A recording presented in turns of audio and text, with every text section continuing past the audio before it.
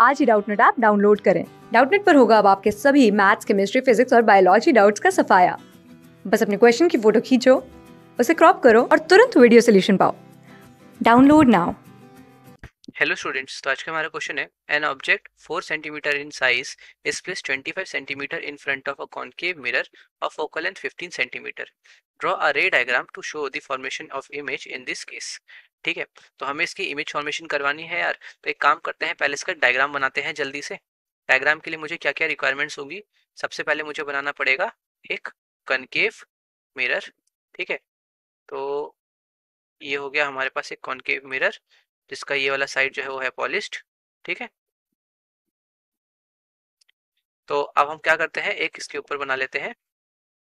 इसका principal axis और यहाँ पे इसका बना लेते हैं फोकस यहाँ पे इसका सेंटर ऑफ़ कर्वेचर सी बनेगा। फोकल लेंथ 15 सेंटीमीटर दे रखी है, लेकिन ऑब्जेक्ट जो है वो 25 सेंटीमीटर की दूरी पे रखा है।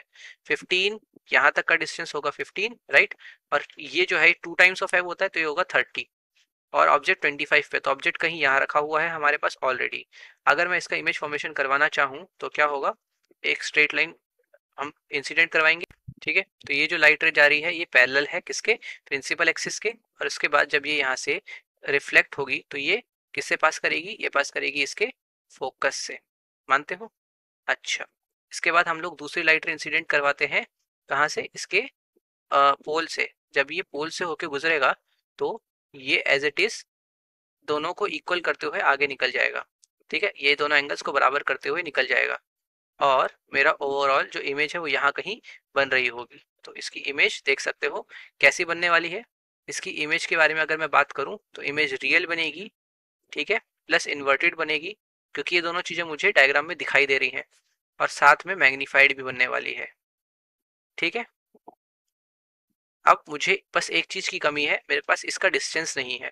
ऑब्जेक्ट डिस्टेंस तो मेरे पास है 25 सेंटीमीटर्स का, लेकिन इमेज का मेरे पास डिस्टेंस नहीं है। तो वो कैलकुलेट कर लेते हैं हमारे पास u दे रखा है माइनस ट्वेंटी फाइव माइनस इसीलिए लिया क्योंकि साइन कन्वेंशन बोलता है लेफ़्ट में रखी चीज़ों को नेगेटिव डिस्टेंसेस दिए जाते हैं साइन कन्वेंशन में।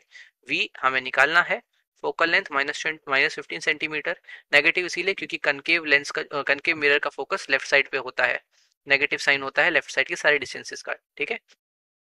तो one by v is equal to one by f minus one by u ये बेसिकली क्या है? आपका लेंस फॉर्मूला आपका मिरर फॉर्मूला है तो one by v is equal to one by f कितना हो गया? इसकी जगह ये डाल दो और प्लस ये हो गया, ठीक है? प्लस इसीलिए क्योंकि ये माइनस था और हमने ऑलरेडी माइनस वैल्यू पुट करी है। इसको सॉल्व करके हमारा आंसर कितना आ जाता है? Two by seventy five with negative sign तो वी की वैल्यू मेरे पास कितनी आ गई? Minus thirty seven point five centimetres तो मुझे पता चल गया इमेज कहाँ बनी होगी? तो अब हम लोग अपने इस डायग्राम में इसको भी लेबल कर सकते हैं कि जो इमेज है ये 37.5 सेंटीमीटर्स की दूरी पे बनी होगी। तो आई होप ये क्वेश्चन सबको समझ आ गया होगा। यहाँ पे कुछ और चीज़ें हम लेबल कर सकते हैं, जैसे कि ये इसका पोल हो गया, इसको ए बी से लेबल किया जा सकता है और इसको ए डैश बी डैश से लेबल किया जा सकता है। इसके साथ ये क्वेश्चन हो जाता है कंप्लीट क्लास सिक्स से ट्वेल्थ से लेके NEET I I T JEE Mains और एडवांस के लेवल तक। दस मिलियन से ज़्यादा स्टूडेंट्स का भरोसा। आज ही डाउनलोड करें डाउट नेट आप या व्हाट्सअप कीजिए अपने डाउट्स आठ चार सौ चार सौ चार सौ पर।